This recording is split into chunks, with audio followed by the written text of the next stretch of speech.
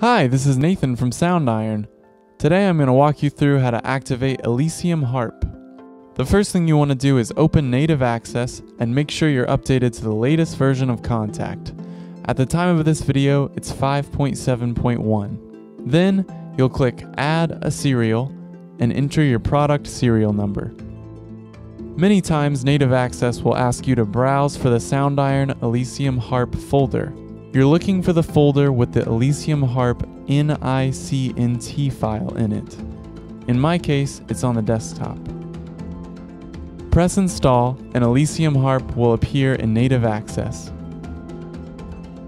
Next, we'll open up Kontakt and Elysium Harp will appear in your Libraries tab.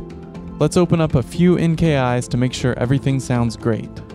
At this point, Elysium Harp is activated and ready to go. Thanks for watching, and we'll talk to you soon.